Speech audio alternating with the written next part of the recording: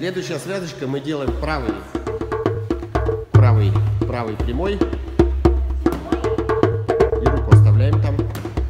Из-за этой руки чуть-чуть придерживаем ее там подольше. Вылетает правый маваши сразу. Чтобы закрыть рукой махатай. Вот так вот, да. То есть он как бы отвлекающий.